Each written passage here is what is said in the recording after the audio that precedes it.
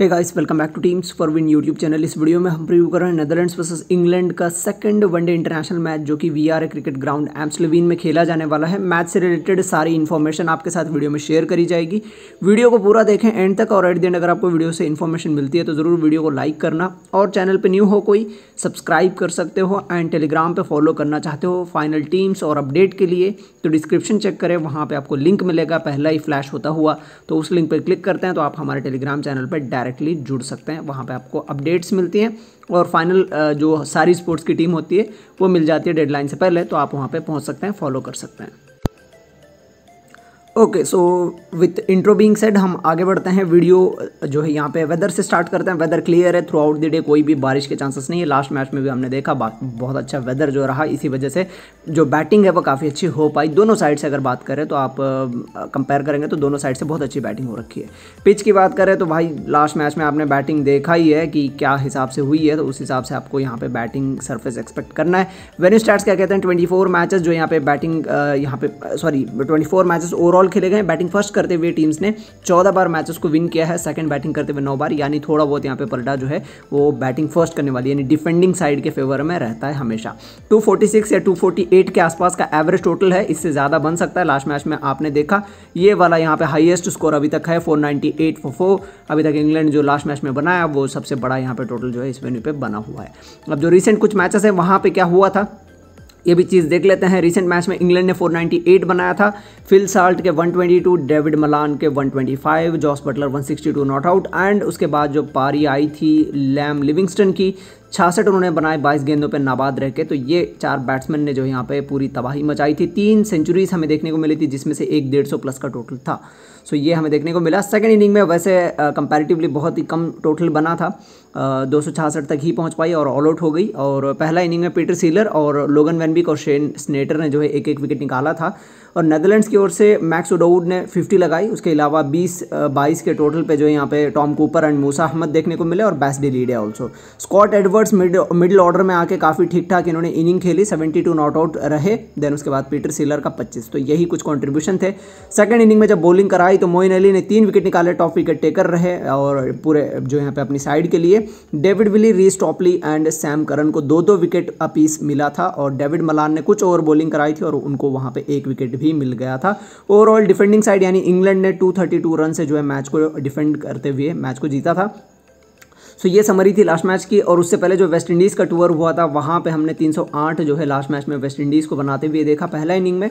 And उससे पहले Netherlands ने जो है 214 बनाया और उससे पहले नैदरलैंड्स 240 सो ये कुछ देखने को मिला था। वैसे पहला इनिंग में रन्स बनते हैं और डिफेंड भी किया जा सकता है। यहाँ पे तो नैदरलैंड्स आप मान ही सकते हैं कंपेरेटिवली एसोसिएट नेशन है और थोड़ा बहुत यहाँ पे इंग्लैंड का पलड़ा भारी इस मैच में भी होने ही वाला है। तो चाहे वो पहला बैटिंग करे सेकंड बैटिंग करे, आपको फेवर तो उन्हीं को करके चलना है, ये आपको पता है। लास्ट चार मैचेस में बावन विकेट्स बॉलर्स निकालें, यानी यहाँ पे वनडे इंटरनेशनल के अकॉर्डिंग अगर आप देख रहे हो तो काफ़ी अच्छी बॉलिंग हो रखी है। ये चीज़ हमें देखने को मिल रही है।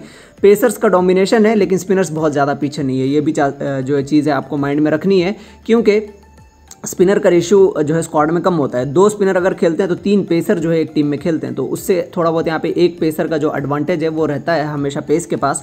सो उसके अकॉर्डिंगली अगर आप इस जो स्टैट्स है, इस डेटा को देखते हैं तो फिर आपको डिफरेंट जो है यहाँ पे चीज़ें नज़र आएँगी, क्योंकि यहाँ पे स्पिनर्स कंपेरेटिवली बहुत अच्छा करते हुए आपको देखने को मिलेंगे, अगर आप उस नज़रिए से देखते हैं। तो सेकेंड इनिंग में ओवरऑल डोमिनेंस रहा है पेसर्स का। सो इसमें कोई डाउट नहीं है कि आपको सेकेंड इनिंग में पेस लेके चलनी है। पहला इनिंग में आप दोनों को इक्वल ट्रीट कर सकते हो पेस और स्पिन आपके लिए इक्वल हो सकता है। मैच प्रीव्यू पे आ जाते हैं। यहाँ पे आपको प्लेइंग इलेवन देखने को मिलेगी। नेदरलैंड्स की ओर से विक्रमजीत सिंह ओपन करेंगे मैक्स ओ डाउट के साथ। सो इनका दोनों का फॉर्म रिसेंट में काफ़ी तगड़ा रहा है। तो मैं रिकमेंड करूँगा कि अगर आप दोनों ओपनर लेके चलते हैं, तब भी आपके लिए कोई ज़्यादा खराब बात नहीं है। आप दोनों को लेके चल सकते हैं। रिसेंट फॉर्म दोनों का अच्छा है। एक लेफ़्ट हैंडर है, और एक राइट हैंडर है। And Musa Ahmed one down पे खेलते हुए देखने को मिल सकते हैं। रिसेंट थोड़ा गड़बड़ है फॉर्म सो उतना खास नहीं है। सो उसके बाद बैस्ट लीडे हैं और टॉम कूपर हैं। इनको देखने को मिलेगा। टॉम कूपर जो है लास्ट बिग बैश में खेले उसके बाद का, काफ़ी सारे मैचेस उन्होंने खेले नहीं है बीच में। एंड बैस्टी लीडे की अगर बात करें तो बॉलिंग भी करा सकते हैं। लास्ट मैच में भी बॉलिंग कराई और खूब पिटवाए थे रन इन्होंने भी। स्कॉट एडवर्ड्स आएँगे जो मिडिल ऑर्डर में खेल रहे हैं लास्ट मैच में बहत्तर रन की नाबाद इनिंग खेल के आ रहे हैं। पीटी सीलर की बात करें तो इनका रिसेंट फॉर्म अच्छा है। लास्ट मैच में दो विकेट निकाल के आ रहे हैं पच्चीस रन बल्ले से भी बनाए थे। लोगन वेनबीक वैसे बहुत कंसिस्टेंट थे विकेट के मामले में लास्ट रिसेंट मैचेस में। अब लास्ट मैच में सिर्फ़ एक विकेट मिला और तिरासी रन इन्होंने खर्च किए थे उसके लिए।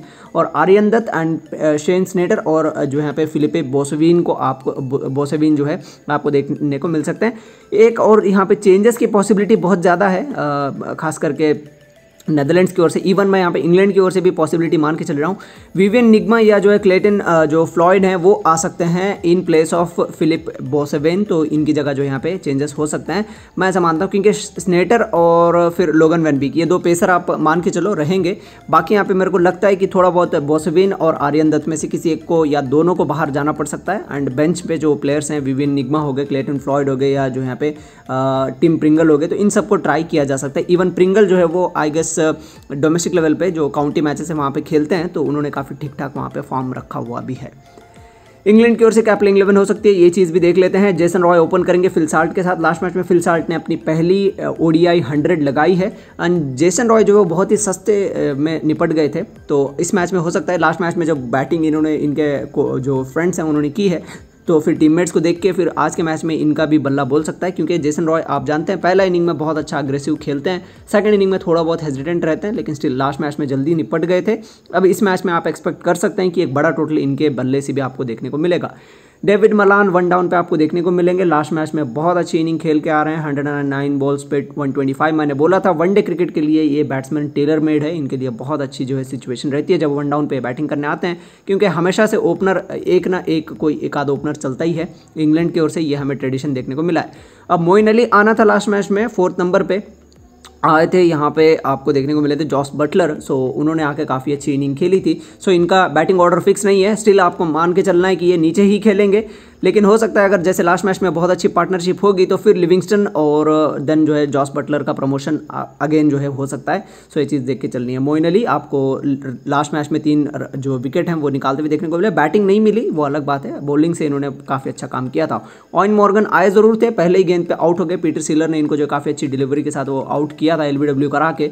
सो इस मैच में हो सकता है थोड़ा बहुत कम करने के देखे लेकिन uh, मेरे अकॉर्डिंग वैसे रिसेंट फॉर्म देखते हुए भी नहीं लग रहा है। एज अ कैप्टन बहुत अच्छे प्लेयर हैं लेकिन एज अ बैट्समैन अगर आप कंसिडर कर रहे हो तो फिर आपके लिए फैंटेसी परस्पेक्टिव से उतना अच्छा सिलेक्शन ये है नहीं। और लिविंगस्टन की बात ही ज़्यादा करनी नहीं है, इनको बॉलिंग नहीं मिल रही है, ये अलग बात है, लेकिन बैटिंग से इनका फॉर्म बहुत अच्छा है, बल्ला बहुत अच्छा चलता है, और रिसेंट में जो आईपीएल है, वहाँ पे भी बहुत अच्छा करके आ रहे हैं सो इन फॉर्म प्लेयर हैं, आपको ड्रॉप नहीं करना है। सैम करन की बात करें तो रिसेंट में इनका बॉलिंग से तो काफ़ी अच्छा रिकॉर्ड रहा ही है बैटिंग से भी इन्होंने काफ़ी जो है यहाँ पे डिलीवर किया है।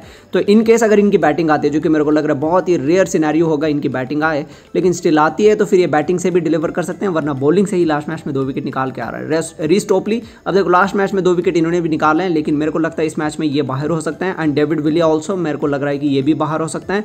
सो ये दो पेसर्स की जगह कोई और आ सकता है, जो मोस्टली मेरे को लग रहा है कि चांसेस देने के अगर सोचे तो फिर जो ब्रैडन कार्स हैं एंड डेविड पेन है, इनको जो है हो सकता है यहाँ पे, वरना दो डेब्यू हो सकते हैं ल्यूक वुड और डेविड पेन ये दोनों खेल सकते हैं तो दोनों डेब्यू करा सकते हैं। एंड आदिल रशीद एकलौते स्पिनर हैं, जो लेग ब्रेक बॉलिंग कराते हैं तो मेरे अकॉर्डिंग इनको तो छेड़ा नहीं जाएगा लास्ट मैच में भले विकेटलेस गए, इनको बाहर करते हुए तो मैं नहीं देख रहा कि इनका जो है यहाँ पे कहीं ना कहीं बेंच का सामना करना पड़ सकता है। सो ये कुछ है, और बेंच पर बहुत ज़्यादा अवेलेबिलिटी नहीं है लुकवुड और ब्रेडन कार्स और डेविड पेन इन तीनों में से किसी एक को इस मैच में चांस मिल सकता है। एंड देन उसके अलावा जो बचेगा, उसको नेक्स्ट मैच में चांस मिल सकता है। सो ये पॉसिबिलिटी नज़र आ रही है। ड्राफ्ट टीम की बात कर लेते हैं। जॉस बटलर, फिल सार्ट को मैंने विकेट कीपर सेक्शन से रखा हुआ है। अब यहाँ पे स्कॉट एडवर्ड्स लेने का आपके पास ऑप्शन है।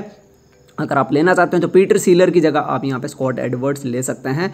अब लास्ट मैच में जेसन रॉय ने भले ही रन नहीं बनाए, लेकिन मैं इसके, इस मैच में जो इनके ऊपर काउंट करके चल रहा हूँ कि रन बनाएँगे एंड उसके अलावा लिविंगस्टन तक बैटिंग आ सकती है, मैं ये मान के चल रहा हूँ, एंड डेविड मलान। सो मैंने टॉप ऑर्डर लगभग पूरा कवर कर लिया है, पाँच से छः बैट्समैन मैंने आराम से जो यहाँ पे कवर कर लिए हैं, एंड रहे बात तो बीच में यहाँ पर मैं छोड़ा हूँ ऑन मॉर्गन को तो बस उनके अलावा सारे बैट्समैन मेरे कवर हो चुके हैं, इवन मोइन अली को भी मैंने रखा हुआ है। अब देखो, मोइन अली रखूँगा या तो सैम करन रखूँगा, अगर बॉलिंग फ़र्स्ट आती है तो फिर सैम करन मेरी टीम में आ सकते हैं एंड अगर बैटिंग फ़र्स्ट आती है तो फिर मोइन अली आ सकते हैं। ये चीज़ें मैं चेंज करूँगा। अकॉर्डिंग टू टॉस डिसीज़न क्या होगा उस हिसाब से? अब मैंने यहाँ पे विक्रमजीत सिंह को रखा है। आप चाहते हैं तो मैक्स ओडोउड को ले जा सकते हैं। आपके पास ऑप्शन है, आपके पास क्रेडिट्स भी हैं, आराम से आप ले सकते हैं। एंड आर्यन दत्त और पीट जो सॉरी शेन स्नेटर को मैंने रखा हुआ है।